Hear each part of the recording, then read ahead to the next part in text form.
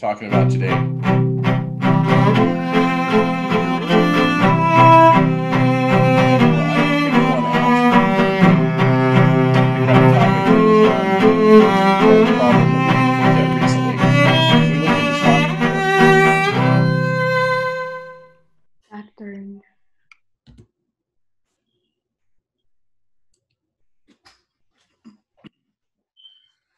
Going to talk about number theory and in particular um, algebra within number theory, how it is that we can make that useful for us. And uh, most of the problems are going to have a similar theme, but we may practice some, you know, just a little bit of algebra together with our number theory along the way. And let's start with, uh, we just start with the first problem.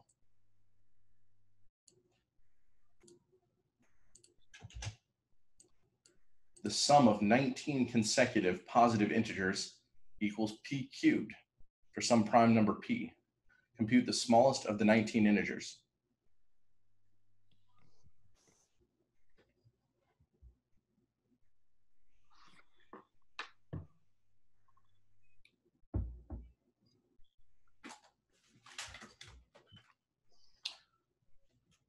What's a good first step for a problem like this?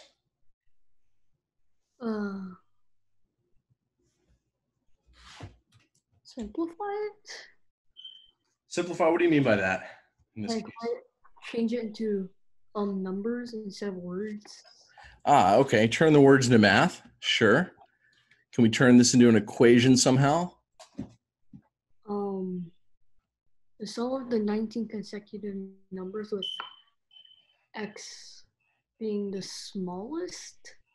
Um, it's x plus um, wait, it's 19x plus 190. Wait, no.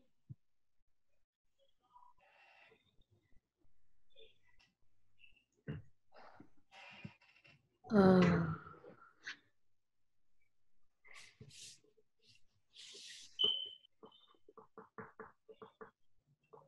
one seventy one.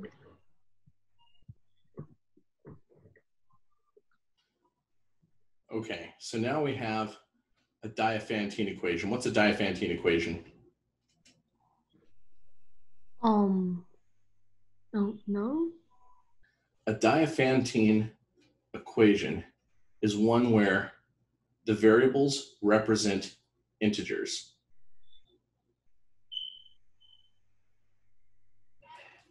Oh,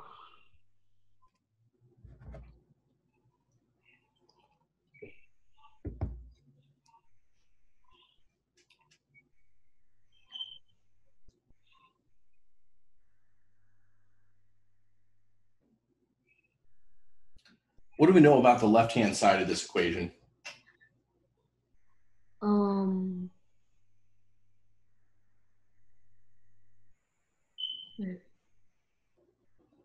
So multiple of nineteen.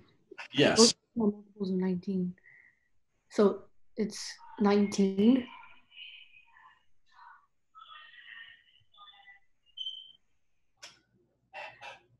So what does that tell us? P has to be nineteen. One of the Yeah. factors of P has to be nineteen. P has to be 19. Can't be no value because the rate because 19 divides p cubed. Okay, so p is 19. What does that mean?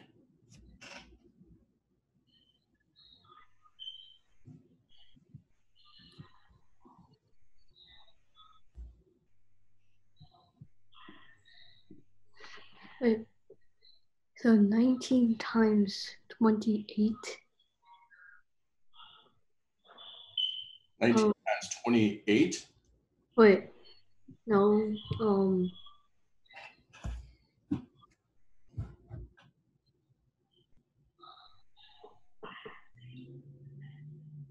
Um. Is it 352? 352 is the correct answer. Yeah, x is equal to 19 squared minus 9, and 19 squared is 361. So we wind up with 352 as our answer. Okay, good. So we're going to talk about the elements of this problem, and then we're going to talk about a slightly simpler solution. Um, big element of this problem is thinking in terms of prime factorization within an equation that involves um, algebraic variables. And this is what I mean when I say factoring is factoring. Uh, that when you have prime factorization and algebraic factorization involved, uh, that actually constrains the variables. Otherwise, an equation like this would be much, much harder to think about, right? Yeah. Cubed is cubic. Uh, the other side is linear, two variables. Um, on the other hand, by by deducing that 19 needed to be a divisor of both sides, we were able to make very significant progress. And so Yeah. the theme of the problems that we're working on today. So now at this point, um, I, I said, hey, we're going to look at a simpler solution. Um, sums and averages are related to each other, right? If you have in Oh, numbers, we're the middle one. yeah, exactly. If, This is 19x. if we let m equal the middle term, yeah, and you've already figured out that the average of the numbers is the middle term.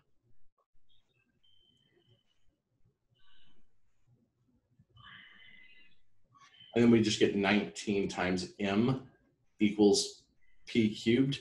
And then it's it's even a little bit easier to deduce that the fact that 19 must be a divisor of both sides. One thing to remember about equations is, um, you know, in some cases, it's it's best to look at the properties of each side and say, well, look, if these two things are equal, then the properties of one side are the properties of the other.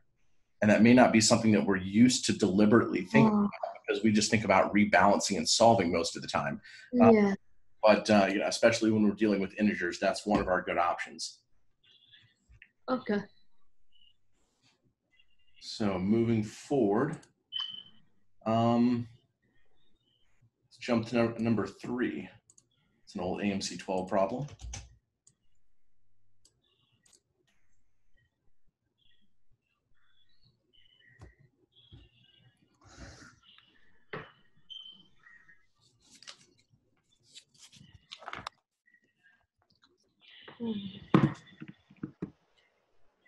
How can we get started with this one? Factor 45.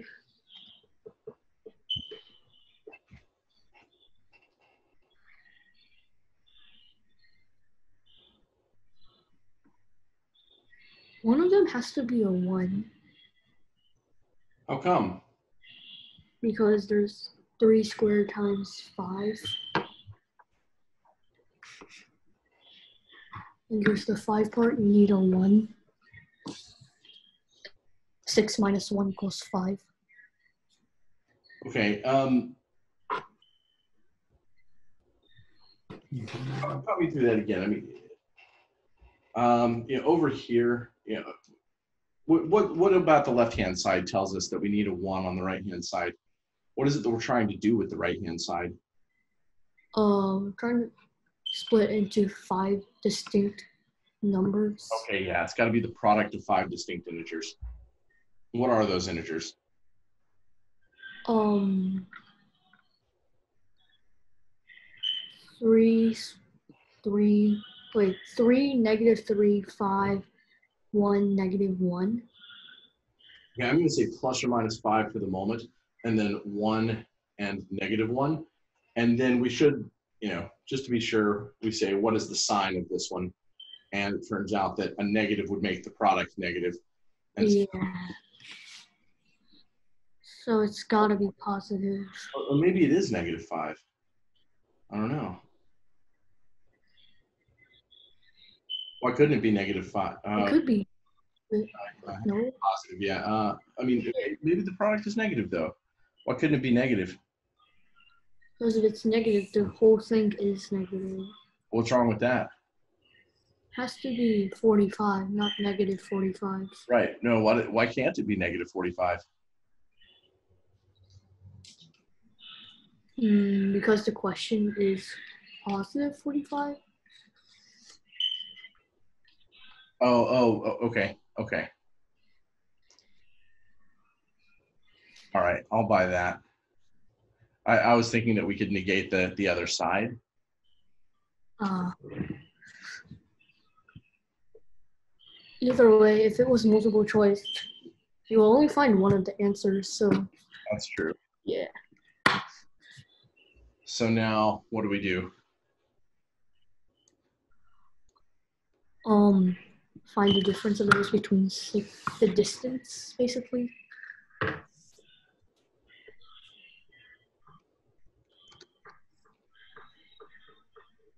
Okay. It's all the odd numbers up to nine. Positive odd numbers. They are consecutive, aren't they? Yeah. Is that a coincidence? Um, I don't know. May have been a random coincidence. Actually, I, I- think that, that uh, the author did intend to pick numbers that were close to zero so that they could do plus minus. Ah,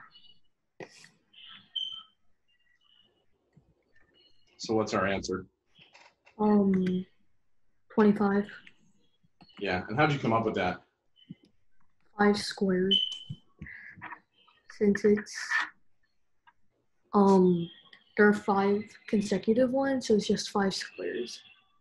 Okay, here's another thought. The sum is just five, right? Because the pluses and minuses cancel out. Yeah. Left-hand side is 30 minus the sum of the variables. So we can get the sum as 25 that way as well. Okay, good work. Okay, um, this relates less to most of what we're doing, but it's a good problem to walk through. I like this one.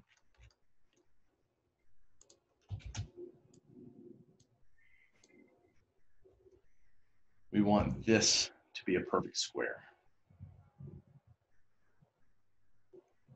Um,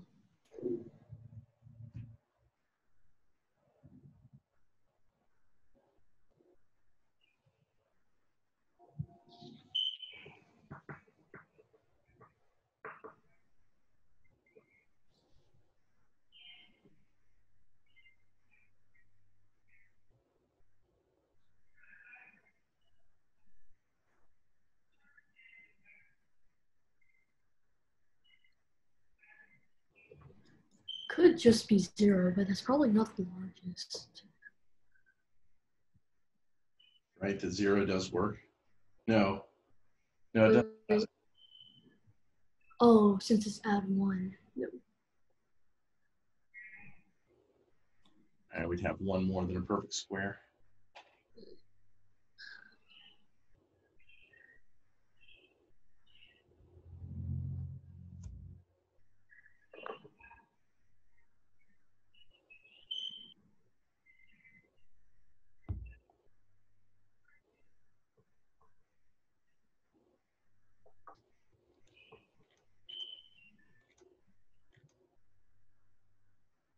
Twelve? What do you think? Twelve. Um, since it's since you can make two to eleventh, two to the three plus two to the eighth. Okay, so we can factor out two to the eighth power. Let's assume that n is at least eight. If we can find an answer, of course, we don't have to check any lower. So we factor out two to the eighth power, which is itself a square. And we've got two to the n minus eight plus two cubed plus two to the zero. And two to the third plus one. Uh, well, that means we've got nine. 2 to the 8 times 2 to the n minus 8 plus 9. So this stuff in the middle needs to itself be a perfect square. Okay. So 2 to the n minus 8 plus 9 equals some integer squared.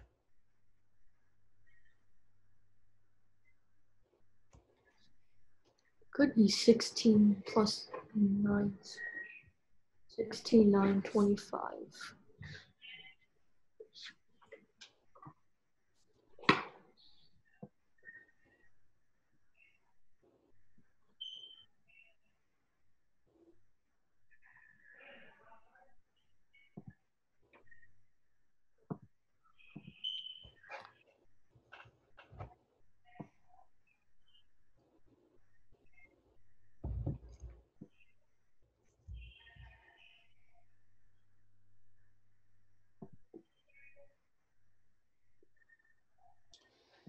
And so here's the principle I want you to think about.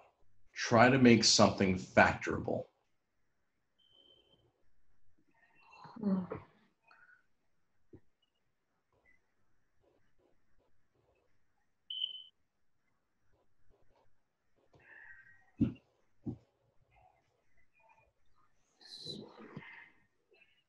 What could we rearrange to make something factorable in this Diophantine equation? Um. Um. I don't know. Tell me about the terms, each one of them. Go from left to right.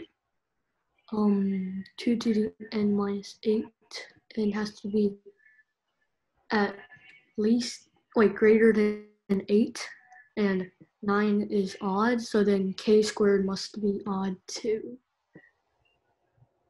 Okay, so you focused first on 2 to the n minus 8, and you were able to make some statements about it. Okay, what do you know about 9 that's interesting? It's three squared. Okay. Does that relate to k squared in any way? Um, it's three squared, and k is five. Uh, okay, so you have an intuitive guess?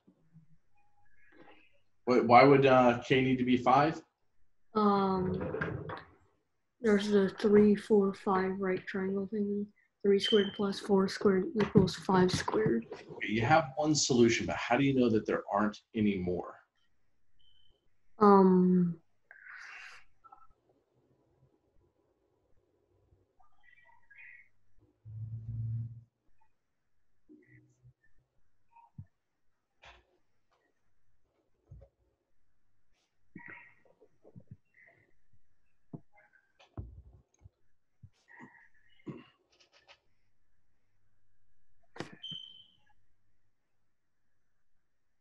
uh,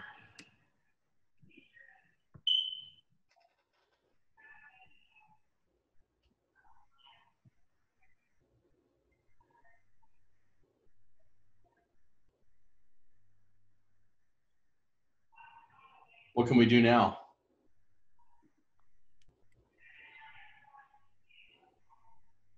take the square root of both sides. Square root? Wait, no. Um,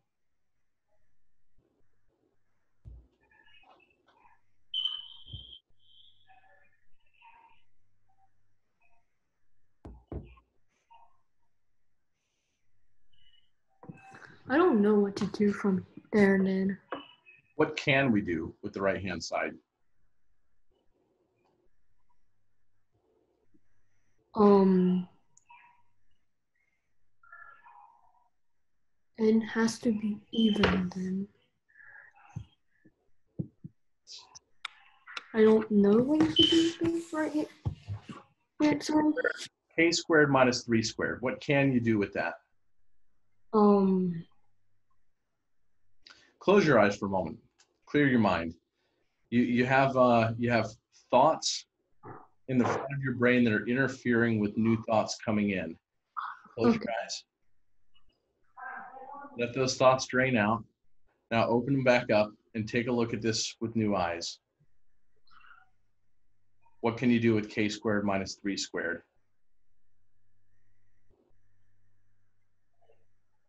try to factor it. Yeah, you know how to factor that. How does it factor? Um, oh, k plus 3 times k minus 3. Good. There you go. So now we have the left-hand side of the equation is a power of 2, and the right-hand side is the product of two integers that are 6 apart. Okay. So what's true about each one of these factors? It must be a power of 2. Yeah. Because that's all that can be in their prime factorization. Yeah. So two powers of 2 that are 6 apart. What does that tell us? Um, 2 apart. So it's five? I don't.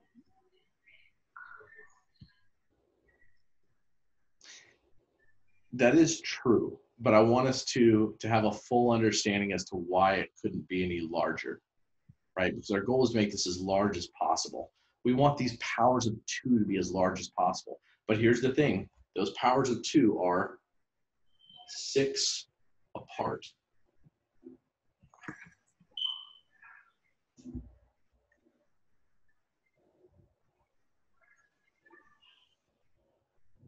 Um,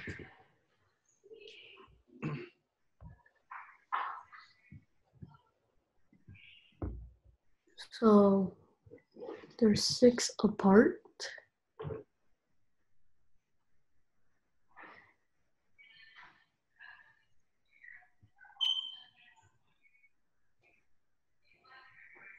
What happens with powers of two as they grow? Um, they're twice as much. Yeah, the differences between each consecutive pair of them is also growing at the same rate. Oh, What does that mean? wait. So K, um, six in between. Yeah, but in particular, if you know, if the powers of two are going to be any higher than eight, the difference between any two of them would be at least eight. Oh, so if any of them are more than eight, the difference of them are are greater than eight. So we can't have any that are bigger than eight here. Oh, so the biggest must be five plus three, since it's equal to eight. Yeah, these two numbers here are, can be at most eight and two. And that gives us k equals five. And, uh, but in particular, that, what does that give us for n? That gives us n equals 12 because we'd have to have four total powers of two. So that is our answer. And one thing I want to point out too is um, we might have even been able to see that intuitively. Not that this would have been enough to solve the problem, but you know, 2 to the n power plus 2 times 2 to the 10th plus 2 to the 8th. Right? Can you see a way to make that into a perfect square trinomial? Um.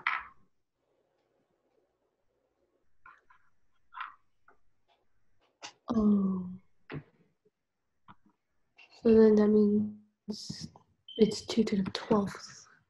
Yeah. And yeah, the 2 to the 8th is yeah, the square of 2 to the 4th, and 2 to the 10th would come from 2 to the 4th and 2 to the 6th. So we can back out that 6 right there. Okay, let's take a look at number 6.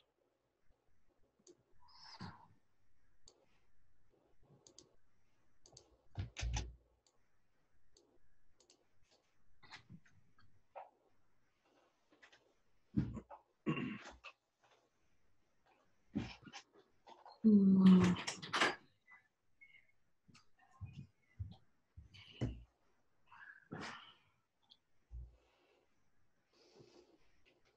What would we like to be able to do with these equations? Um, get rid of the A, B, A times B, B times C, and C times D. Maybe, if only it were that easy. I don't know if there's any way to just get rid of those. Or factor the equations. If we could factor, that would be great. Did the left-hand sides factor? Um, I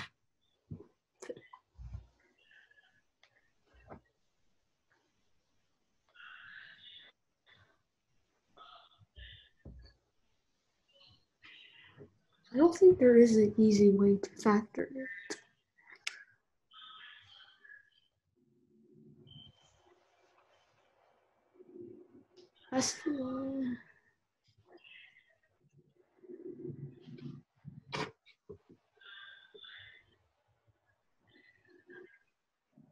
What would factors of this look like? suppose we could factor it. Let's just imagine the positive. That sure, we can factor this. We have an a times a b, but then we have a and b alone. There's no squares.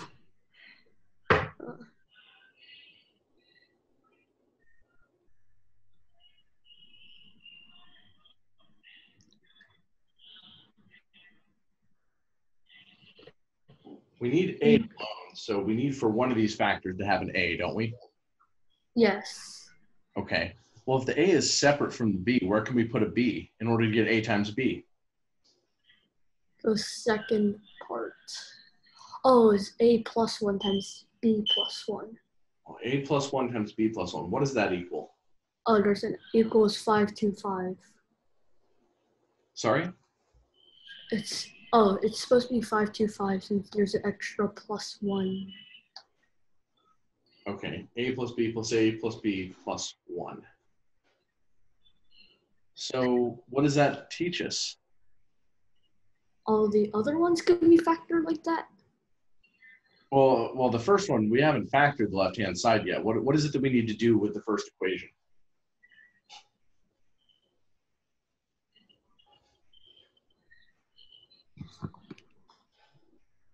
Um, add Factor. sides and then factor. Say again? Add one to both sides and then factor it. Add 1 to both sides. Good. Now the first equation becomes a plus 1 times b plus 1. And let's go ahead and prime factor the right-hand side, 525.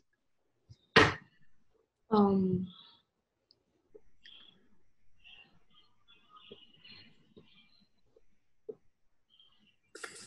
five cubed times. Wait, no. Three times five squared times seven. Good. Now the second equation. Mm, B plus one times C plus one equals one forty-seven.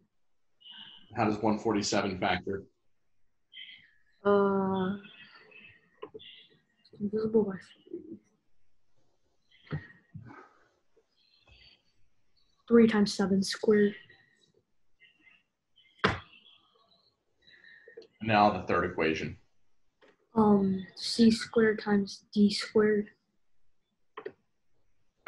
d squared times d squared? Wait, C C plus one times D plus one.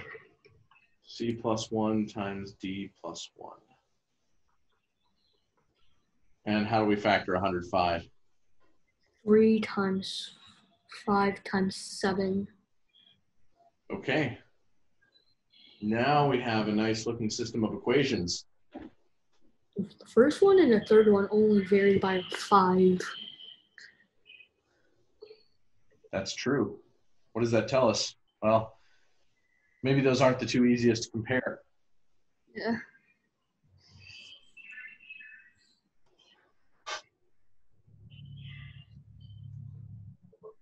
Um.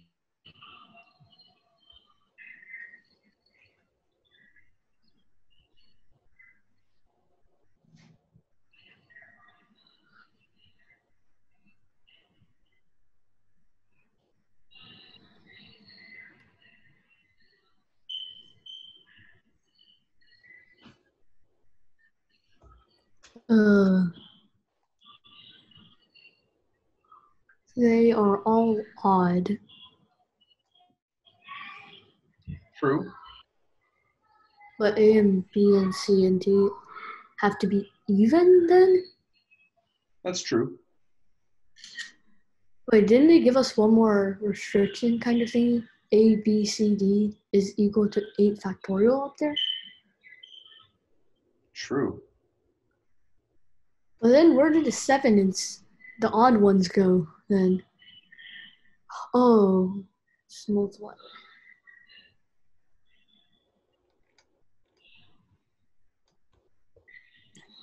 Um, Focus on the prime factorizations. We've done the algebraic factoring part. Our goal with these problems is to learn to compare the algebraic factorizations, well, to sometimes to create the algebraic factorizations, but then to compare them to the prime factorizations, right? These four numbers right here are put together two at a time in these equations, and we see the resulting prime factorizations. Uh,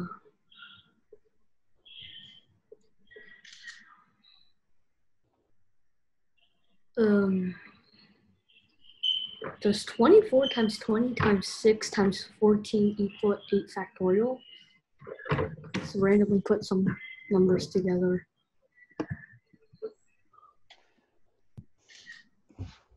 I, I'm not sure, but uh, I think we have a much simpler route in front of us. We have these four factors, a plus 1, b plus 1, c plus 1, and d plus 1. We know that a plus 1 and b plus 1 together have a 3, two fives, and a 7. But then when we pair b plus 1 with Also, b plus 1 has to have a 3 and a 7. So uh, that's what kind of what I did. wait a And minute, then, wait a minute, wait a minute. I don't think that's true. Let's slow down. Know that the first, the first two of these together have a three, two fives, and a seven. Then the next two together have one three between them and two sevens. And then the next two together have a three, a five, and a seven. So let's slow down. Let's put our logic brain on. b is 3 times 7. b plus 1 is 3 times 7. Though. So you think that um, I multiplied it out and it was 8 factorial. When I multiplied out A, B, C, and D. did you find a set of solutions? Is that what you're saying? Okay. Yes. So okay, you're saying okay. So uh, here's the way that um just I, I just want to walk through this. The five squared cannot be in b plus one. How come? Since b plus 1 times c plus 1 doesn't have a 5 squared, a 5 in it. Right. Then uh, b plus one times c plus one has seven squared, but we can't have a factor with seven squared in it. Why So not? C seven and B is three times seven. if either b plus one or c plus one had both of those factors of seven, then we would see seven squared elsewhere in a Um, product involving one of those terms. So each one split. has a seven. And now this five is not in c plus one because it's not in the middle product, so it must belong to d plus one. And now we just have to figure out how it is. You know, there are multiple ways that the threes could show up. You know, either we put that as a factor of b plus one and d plus one, or it's a factor of a plus one and c plus one. Either one is possible. but I kind of used a little bit of extra logic. Um, three times five squared is just really big, and I don't think that's where it would be in like the range of the numbers. So three just went to p plus one. That's pretty good. Um, a little bit more airtight would be to say uh, three times five squared is 75, and one less than that is 74, which has a power, of, which has a factor of 37, which isn't going to be an 8 factorial. So you are right that the three goes with b plus one, and so the other three must go with d plus one. Yay! Now we've we've parsed everything out. So What a, were we looking?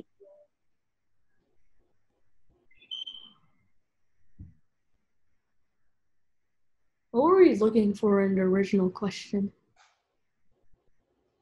uh, what did they ask for? Um, a minus d. I think they uh, they asked for something that you couldn't plug in easily for.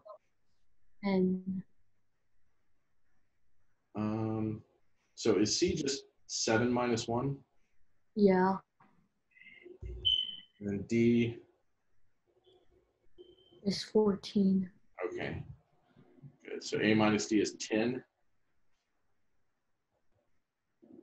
and that's our answer. And I'm going to check the answer key, and that is correct. Okay. By the way, I just want to point this out. This idea of adding one, when we have a product and then a linear combination, whether it's one times each variable or anything else, the idea of adding a constant to make it factor, we call this Simon's favorite factoring trick. Oh, it kind of completing the square, kind of? It is kind of like that, yes. Um, and sometimes you'll see this abbreviated SFFT. If you're ever on the AOPS forums or something like that. Um, and Oh, as uh, Simon was uh, working for us there one summer when he pointed out that this was his favorite factoring trick, so we decided yeah. to name it after him. I saw the video thingy. It was kind of weird. And now you're learning to apply it in problems. Yeah. Okay, let's take a look at number seven. Four digit primes. Yeah, that sounds scary already, doesn't it? Huge. But then how do you make sure they are prime?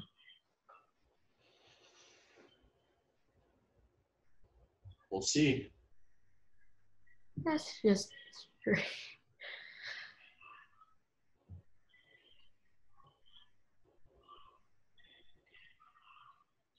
How can we get started with this beast? Um, try to factor it. Seems reasonable. Can we factor it next to the 12th plus y to the 12th? Plus two times y x to the six times y to the six. Say again? Um, add two times x to the six times y to the six. If you've got a proposed factorization, check it out and see if it works. In the meantime, I'm going to grab me another cup of coffee while you work on that.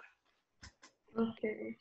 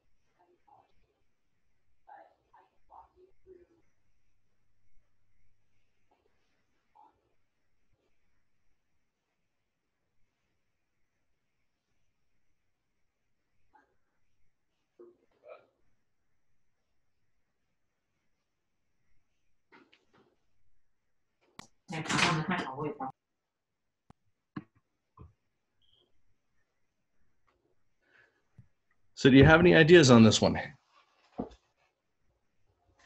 No.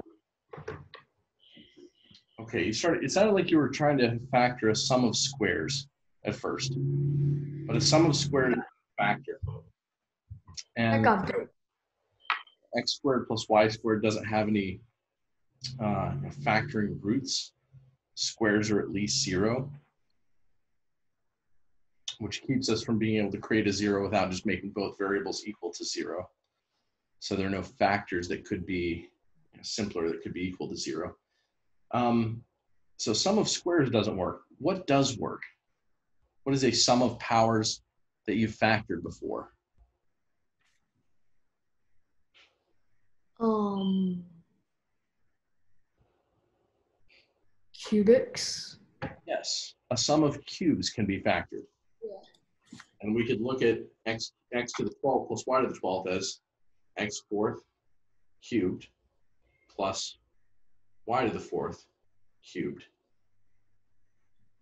Um, Remind ourselves, um, how does x to the fourth Plus b. y to the How does that factor? a plus a plus b times a squared minus ab plus b squared. Yeah. Okay. So how does 7 to the 12th plus 4 to the 12th begin to factor? 7 to the fourth plus um 4 to the fourth times 7 to the eighth minus 7 to the fourth times 4 to the fourth plus 4 to the eighth. Good. And now we know that this is the product of three four-digit primes. I assume that 7 to the fourth plus 4 to the fourth is a prime. We could at least try it. What's 7 to the fourth power? I do not remember. I did not remember that.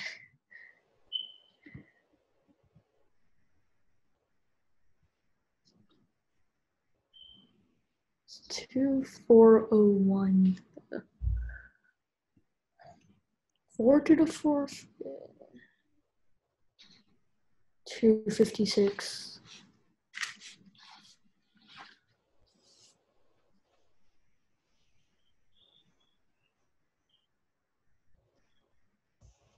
Looks prime.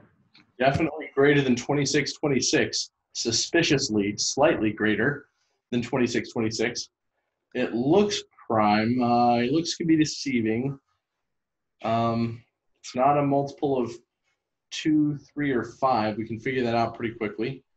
But uh, we also know it's not a multiple of seven because it's seven to the fourth plus four to the fourth, and four to the fourth is not a multiple of seven. So we can start with 11. How far would we need to test up to? Um, about like the square root halfway mark. So the multiplicative halfway mark, perhaps. Uh, this is around 51.5. Man, that's still a lot of primes to test. That's a lot of primes, isn't it? I think it's prime.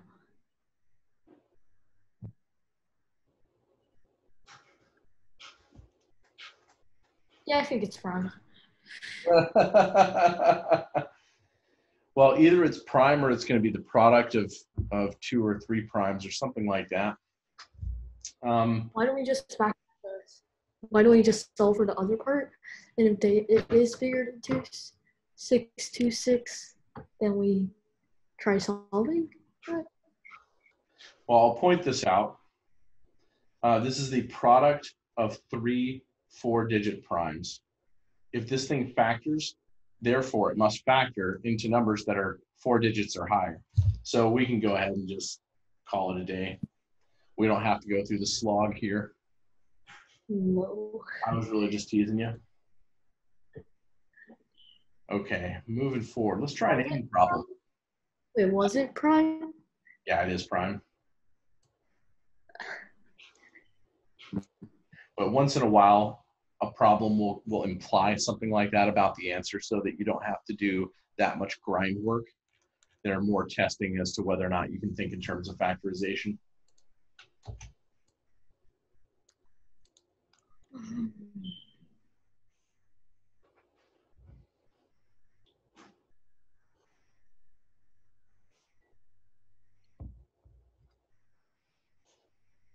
Isn't that x plus y cubed?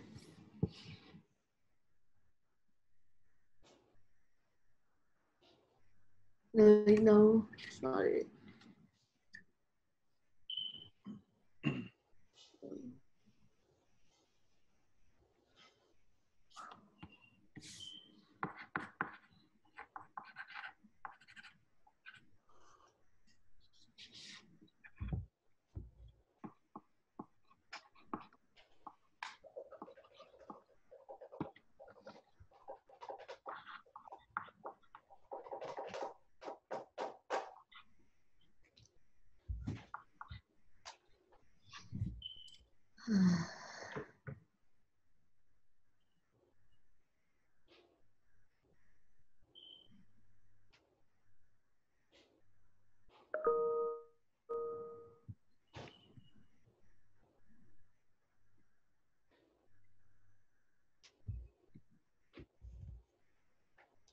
So let's talk about one of the uh, grand principles of factoring and equation solving. It's called take everything and jam it on one side. Oh, that's fun. Why do we do that? Why do we take everything and jam it on one side? It's, it's gonna equal zero. Why is that important? So then you could factor. And then one of the stuff has to be equal to zero. Yeah, because yeah, if we can factor it, then now we're solving simpler equations. We're solving stuff one equals zero and stuff two equals zero. And if either one of them equals zero, then their product equals zero. Yeah. And so that's not the way this problem is going to turn out, however. But that's okay. The, the general principle still helps us. If we take everything and jam it on one side, and I'm going to organize the terms a little bit differently because I always find it helpful to write everything from highest to lowest powers because it's easier to organize whether it's factoring or anything else. It's a little bit easier to organize and see things in a systematic way. Um, what does this remind you of?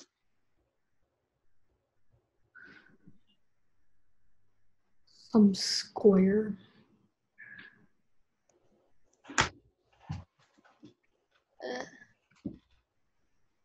Wait, isn't it y squared? 3x squared y squared? Yes. Pardon? I was being accosted by a monster. Huh. Uh, don't know.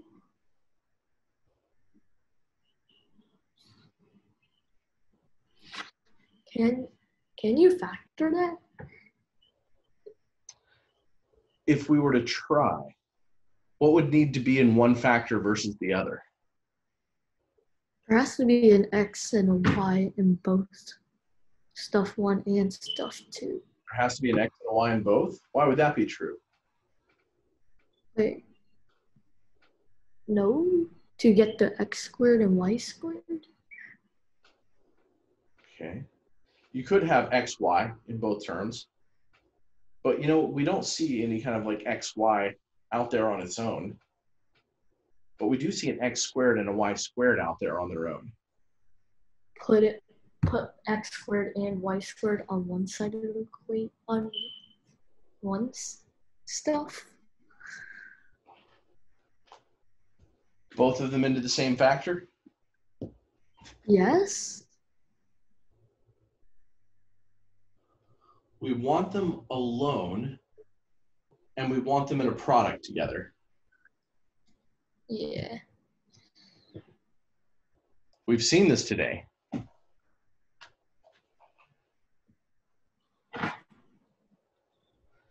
X plus y. Oh, x squared plus y. X squared plus one, y squared plus one. Okay. Kind of like that. You're on the right track. It- It's it's not going to be x squared plus one and y squared plus one. Wait, Three x Uh, squared y squared term. three x squared plus blank um times y squared minus ten. Okay, good. You you put the three with the x squared. How come? Um since you need the negative thirty x squared. Yeah, and y is y squared is just alone in the product. Yeah. So you said y That has minus ten. Is that what you said?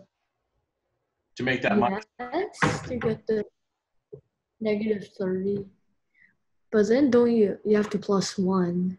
And there's gonna be extra there's gonna be some stuff out of this stuff. Okay. This product is equal to 3x squared y squared minus 30x squared plus y squared Minus ten. minus 10. Okay. oh seven. What do we have to do to both sides of the original equation? Is is add what? um split 517 into 507 and 5 and 10 Okay, so we need to add 507 to both sides. And that gives us yeah 3x squared plus 1 times y squared minus 10 equals, what do we do with 507?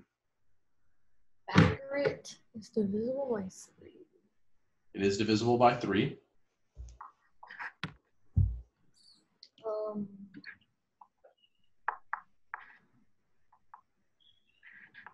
three times thirteen squared. That's right. Okay.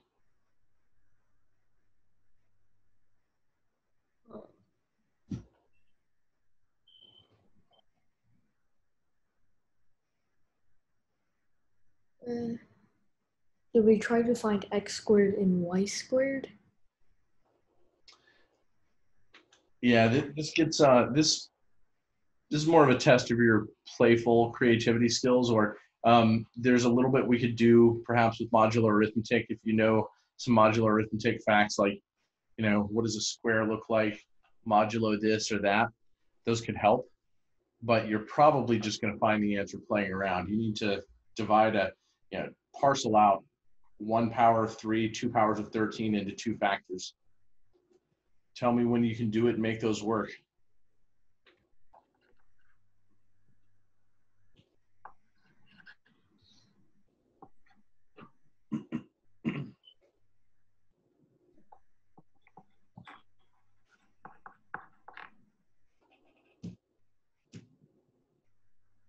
Oh, x equals two and y equals seven. Okay They then three. They could be negative also, but it, it won't matter for our question. x squared and y squared. So what's our final answer? Uh, two eight, two eight eight. No, five eight eight. Pardon, I have an animal who likes to bite me while I'm teaching. I'm gonna throw him out.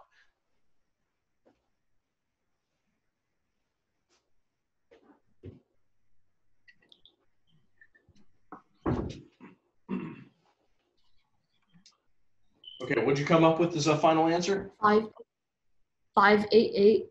588, yeah. And, you know, probably the easiest thing is to notice this factor can't have the three.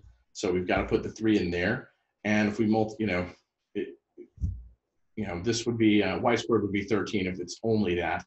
So we try to throw in a power of 13, maybe two, but just one of them works. And, uh, you know, yeah, and three times 13 over here and 13 over here gives us an answer of 3x squared y squared. 3 times 2 squared times 7 squared. That is 588. Is that what you said? Yes. Okay. Okay, let's, I think we have time for one more here. All in. Uh, which one are we gonna do? Let's take a look at 14.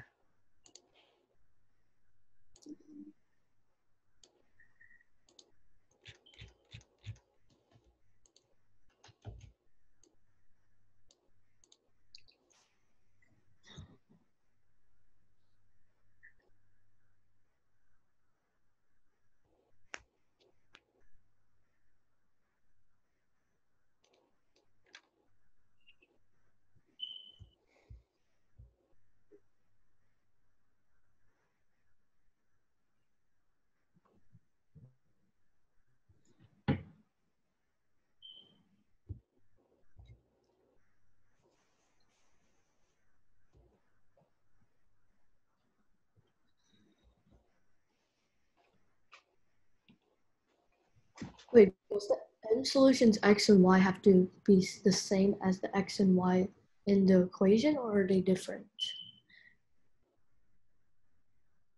I'm not sure I understand the question. Oh, oh, never mind. Okay, I got it. Uh, Sometimes just trying to put a question into words is a good way to answer it for yourself. yeah.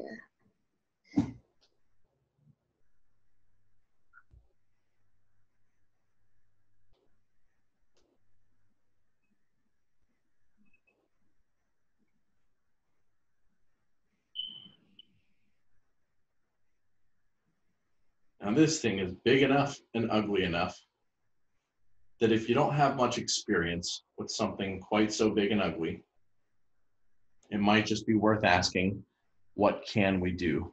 Do you remember, do you um, remember all four of my favorite problem solving questions? Um, what can we do?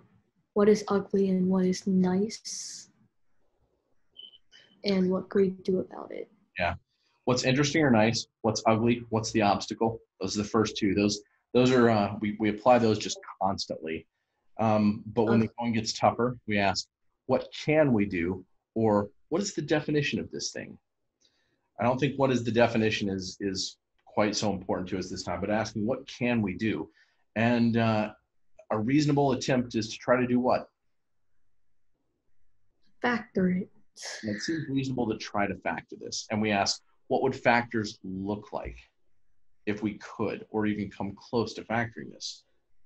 What do you uh-huh. see in here that gives us some hints? The x squared and y squared and the 2xy. Okay. This stuff right here is x plus y times x plus y. Okay. What else do you see that might be helpful? All of the remaining terms are just minus, are just minus, minus, minus, minus. That's true. We can account for the signs. Factor out a negative one. Okay.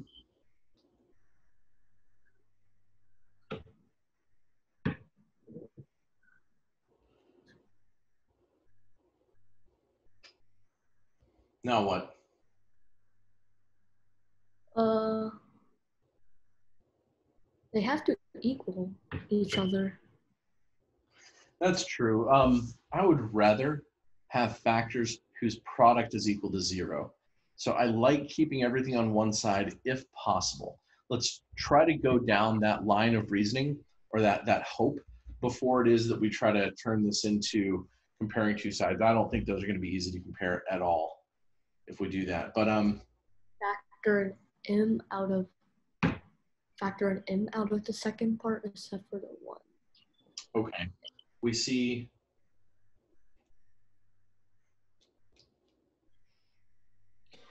m times x plus y plus 1 if we want the 1 in there. But you know what? We see this xy. Should we keep them grouped together?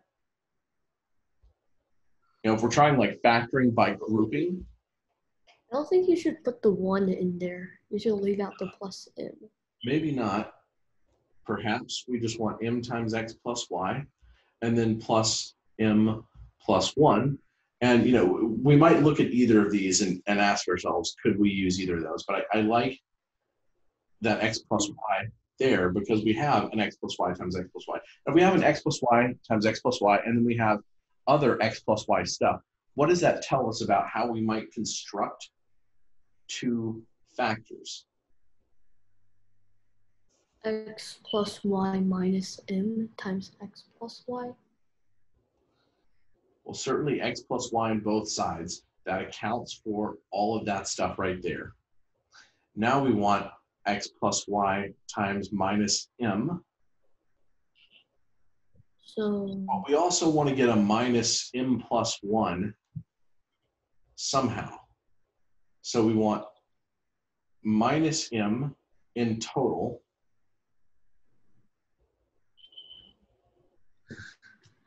multiplied by those two things, but we also want to wind up with a product of minus m minus 1 or minus m plus 1. Do you see it? yeah. What do we do? So minus m has to go on one or the other side. One of one of the factors has to go in. So tell me, what am I putting in the left side? What am I putting in the right? Um, the left side could include a minus m, and then the right side is plus 1. Tell me if that works. Wait, no, you still need the extra plus 1 in there. You're very, very close here. Right, this does not give you a product of minus m plus 1. In fact, it doesn't give you minus m times x plus y. It gives you minus m plus 1 times x plus y. Because you multiply that minus m by the x plus 1 and you multiply that 1 by the x plus 1. So you Oh, quite get what you wanted. You're real, real close. plus m plus 1 on the left side of the factor, left factor. Wait, plus 1 minus m, and then on the right side, plus 1. Wait, minus 1 on the right side. Okay, minus 1 on the right side and 1 on the left side? My, plus 1 minus m.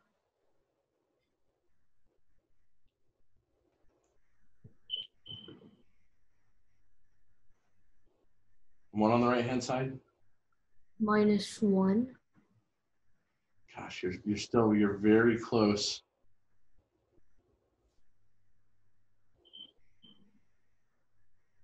Uh, I don't know then. Uh,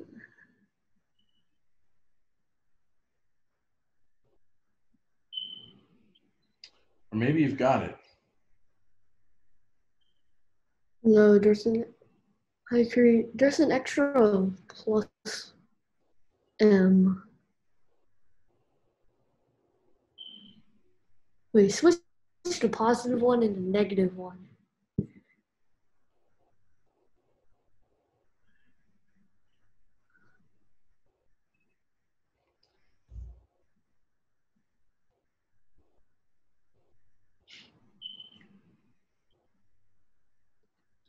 Switch the positive one and the negative one? Oh, did you say switch them? Yeah. That's right. That does multiply out to the original equation. And now let's go back and look at what the problem asked us to do. It says prove that this equation has exactly m solutions in positive integers. Okay, positive integers. X and y are positive integers, and the product of these two factors equals zero.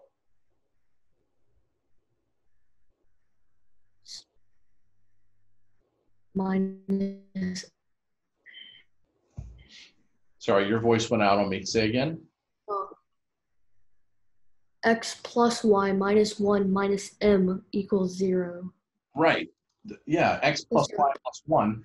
This cannot equal 0 when x and y are positive integers. So we know, we know that x plus y minus 1 minus m equals 0, which means that x plus y equals m plus 1. And x and y are positive integers. So what are the solutions? Um, m and 1 and minus 1 and 2 and minus 2 and 3 and dot dot dot. Yeah. And in total, we have m ordered pairs of positive integers, x, y, that are solutions to that seven term Diophantine equation, multivariable Diophantine equation. That was you feel accomplished? yes. Good. Good. We went through a lot today.